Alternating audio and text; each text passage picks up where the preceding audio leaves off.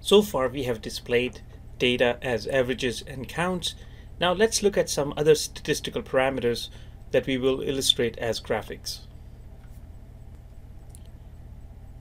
We have not yet shown anything about variance and I think the first thing that one should look into beyond averages is to look at variance or how the data are distributed and a good way of looking at the distribution of data especially if it were to be a continuous variable is to look at histograms. And if you are interested in displaying something more than the average, maybe the median and the quartiles, then perhaps box plots should be our choice. Using the teaching evaluation data, we have plotted a histogram of teaching evaluation scores.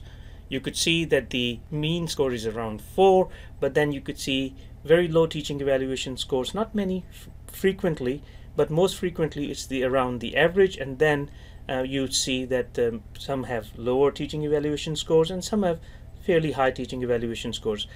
The histogram approximates the normal distribution curve. Essentially, you have 3.99 or 4 as the mean, the standard deviation of 0.55, looking at 463 records. This gives you a good idea of how your data are distributed.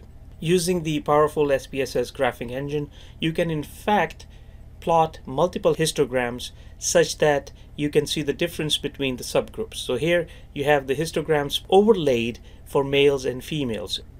These frequent lower teaching evaluations for females is likely to influence the average teaching evaluation score for females versus the males.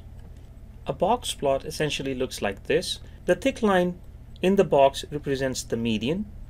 The top part of the box is the third quartile. The bottom part of the box is the first quartile. The line at the bottom is the minimum value and the line at the top is the maximum value. And the range between the first quartile and the third quartile is called the interquartile range. In this graphic, we see the box plots for the age variable and we see that the median age of males is higher than the median age of females. Also, the maximum age of the males is higher than the maximum age of females. Now we are adding another dimension of tenure. So those who are tenured are plotted here. Those who are not tenured are plotted on the left. And the color green represents males and the color blue represents female instructors we can see the differences between males and females such that male tenured instructors are older than male untenured instructors, whereas female tenured instructors are younger than female untenured instructors.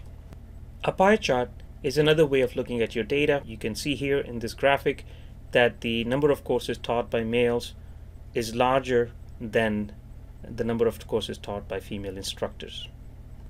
To create a histogram in SPSS, we will click on Graphs, Chart Builder, select Histogram, use Reset to clean the palette, take the template, drop it in the palette, and we're looking at teaching evaluation scores. Drop it here and click OK, and the histogram is readily illustrated.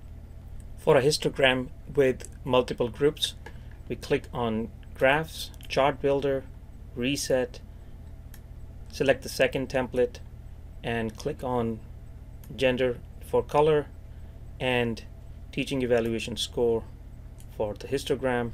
Click OK, and a histogram differentiated by gender is produced. To create a box plot, we click on box plot, take the template, drop it in the palette, and select gender for the x-axis and age of the instructor as the variable for which we can want to compute the medians and click OK and here's the box plot showing the median age for female instructors and the median age for male instructors. To have gender and tenure as the two dimension for a box plot we pick the second template drop it in the canvas we pick tenure for x-axis and gender for the coloring and select age of the instructor as the continuous variable and click OK. And here we have this graphic reproduced. To create a pie chart, we click on pie chart and drag it to the palette and click on gender, drop it, and then say OK. And here is our pie chart depicting that more courses were taught by male instructors than by female instructors.